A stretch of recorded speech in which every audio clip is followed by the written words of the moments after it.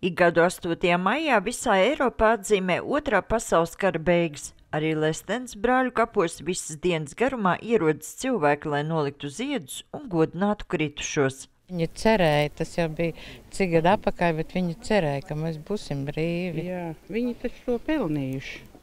Uzrunātie talsnieki teica, ka uz Lesteni braucot divreiz gadā - 8. maijā un 23. decembrī, bet šogad, kad Krievijas karaspēks joprojām posta Ukrainu, brīvībai ir vēl lielāka nozīme. Starp atbraukšiem arī viens no pēdējiem starp mums esošiem leģionāriem.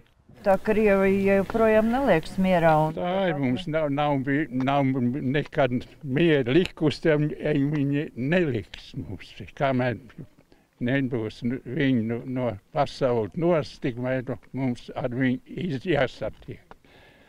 Jāsatiek vai jācīnās? Jācīnās, cik mēs varam. Jā, tā vērsimies.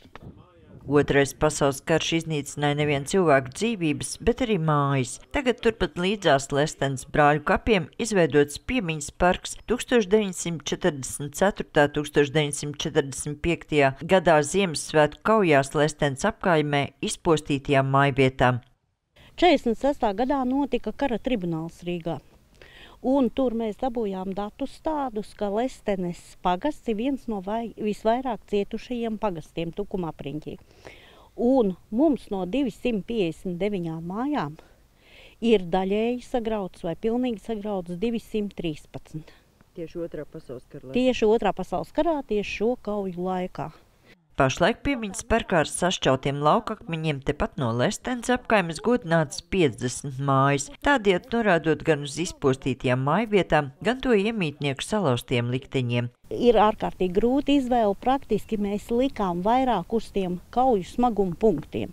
Tieši kur arī vairāk ir bijušas cīņas, kur vairāk ir bijuši kritušie, ievainotie. Kā RTV stāsta Gita Bulaha, dažas no šeit atzīmētajām mājām esot atjaunotas, tomēr visbiežāk no tām vairs nekas nesot palicis pāri. Tāpēc pie katra akmens izvietot plāksnīt ar mājas nosaukumu un stāsts par tās iemītnieku likteni. Parkā iestādīta arī Ozoliņa leģiona 15.